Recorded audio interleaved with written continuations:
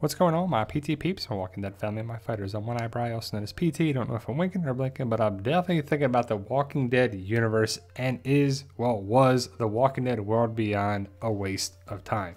Obviously, spoiler warning for all things Walking Dead. That's the World Beyond, Walking Dead, Fear the Walking Dead comics, spoiler warning. Well, I kind of think somewhat I don't think it should have been 10 episodes, The Walking Dead World Beyond Season 1, but if you're watching The World Beyond, you're probably a Walking Dead fan. I highly doubt anybody started watching the Walking Dead universe with The Walking Dead World Beyond, and it's pretty unfair to compare The Walking Dead World Beyond to The Walking Dead. And the Walking Dead universe revolves around The Walking Dead. So it's pretty unfair to compare The Walking Dead World Beyond to The Walking Dead. That being said, I do feel like The Walking Dead World Beyond should have been six, maybe eight episodes. The Walking Dead first season was six episodes. So why was this 10? To stretch it out. Now, was it the characters? Was it the story? Was it the lack of originality? What was it that you didn't like? Did you like it after episode six and it got better as the story progressed? Did you not like the characters? Did you not like that these kids couldn't take down a walker or an empty? Did you like any of these characters? Elton, Silas, Hope, Iris. I like them for different reasons. They had their different strengths. Now, we found out that CRM was going to be a big part of the show, and it is, but it isn't, because the CRM stands for the Civic Republic Military.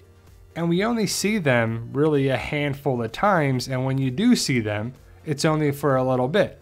You get to meet Elizabeth Kublek, you get to meet Barca, you get to meet some different soldiers. You get to meet Huck and Felix. Well, Huck is the daughter of Elizabeth Kublek. But I know everybody was watching and waiting for Rick to show up. When's Rick gonna come here? He was taken by these people. Why isn't he here? Right? But he never showed up. And I find it hard to believe some of the aspects of the story if, as you watch all 10 episodes. But like these two just got away almost by accident. And you find out later on that Huck, whose real name is Jennifer on the show, is Elizabeth Kublek's daughter.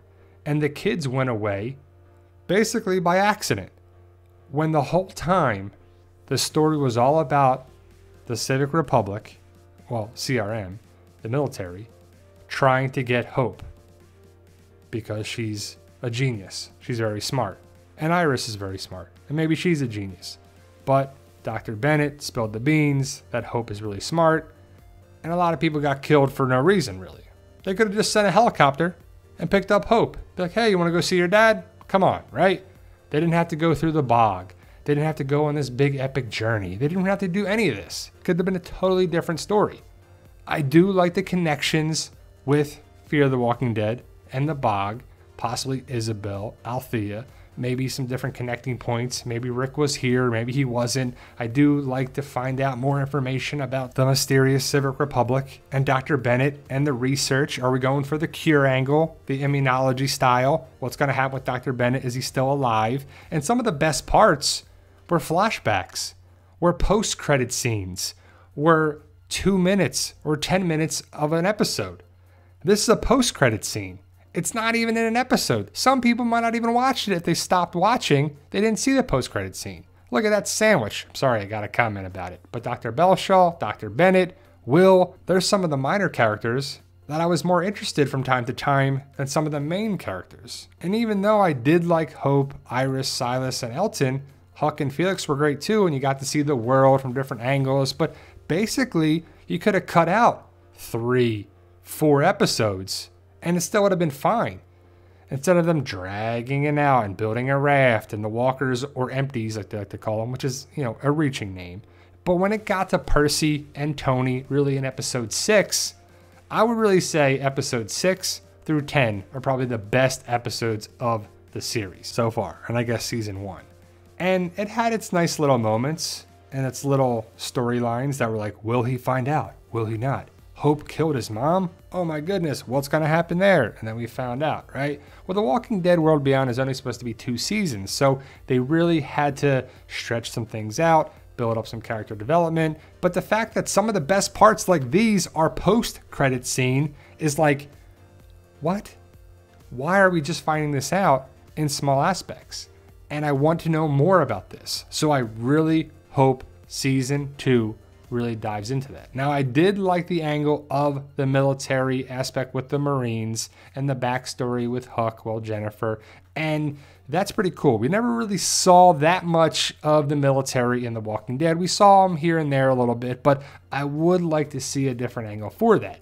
You could have done that on Fear of the Walking Dead or some spin offs or Tales of the Walking Dead or whatever you want to do there, but that was pretty cool. Even though it's really only one episode, we do get to find out a little bit about this the space spores. Is it a nod to the comic? Is it the start of the zombie apocalypse? We don't know. It got people talking, and that's probably what they want you to do. They want you to discuss, talk about it, theorize it, and break it down. And I did like the aspect of possibly connecting with The Walking Dead with the fuel caches in the different states of Virginia, West Virginia, Ohio, Pennsylvania. And then we get to see a little more map overlays with Ithaca, New York, maybe around Cornell. And we can see different things connecting there. And I love how they brand their little three circle logo on oranges, bullets everywhere. You know, it's a little overkill. Like, why even put it on the helicopter? But the fact that we found out more about the Civic Republic, it's good so I think that alone is worth the time to invest in the show. Yeah, they did the spy angle again, and we have some more, you know, family drama with Jennifer and Elizabeth. But some of the characters are good additions to the Walking Dead universe, I feel, in my opinion. Some people are like, how are they good? They can't even kill walkers. They're so useless. This one sucks. That one's a waste of time. Judith could do better than these kids. Well, they're different characters. Judith is awesome, and maybe these characters will be too. And I think season one of The Walking Dead World Beyond ended strong. You know, in the two hour finale, which was two separate episodes, but they put it together, we found out more stuff about things. We got stuff answered. They set up some more questions. That's what you always got to do, but they answered some things. Percy was very much alive. Huck is the spy. Elton and Percy are going to be working together. They got to Ithaca. They're living around there. So it was Ithaca, Syracuse, possibly somewhere else in New York. Will they stay in the Northeast? New York, Pennsylvania, New Jersey. Who's Huck's dad? What's going to happen with this? The watch looks a lot like Rick's. I'm not saying Rick is the father, but who is the father? I'm just I'm not saying it's Rick. It's a joke. Now I hope some of these characters connect with The Walking Dead, Fear the Walking Dead, and the Rick movies. It just makes sense for them to connect with the Rick movies. And a lot of people are wondering if these characters are going to make it. If they're not even going to be in season 2. Like some people are thinking that Dr. Bennett is dead but I think he's alive for several reasons. And did Dr. Belshaw, you know, rat him out? Is she helping him? You know, we just don't know. But I feel like if you already get killed off Dr. Bennett, who's arguably one of the smartest people left alive in the world, you can't just kill him. Yeah, you lock him up. Yeah, you bring his kids to him and be like, look, you're all together. Let's just get to work and you'll stay alive and we'll make this work. But the way the first season ended, with Huck, Hope, and Elizabeth Kublek on the helicopter, Percy and Elton alone, Silas being captured, there's some questions there. And I'm kind of excited for season two, and I hope you are too, because I think it ended well to draw more people in. But unless Rick's going to be part of the second season, or there's some more action, or some big connecting moments, I don't know how many people are going to watch season two. I think the people that enjoy the show are going to watch it, and I saw a lot of people change their tune. We're like, I gave up on the third episode, but I watched the finale and man, I can't wait to see what happens. Will, Felix, these people, how big is this group? Where is this group? Are they from the Omaha campus colony? Well, I guess the campus colony of Omaha or Nebraska. Are they just people from around New York, the Civic Republic there? I would assume they are, but we just don't know, and I can't wait to find out. But I asked the question is it or was it a waste of time? I don't think so. I mean, I enjoyed it for what it was.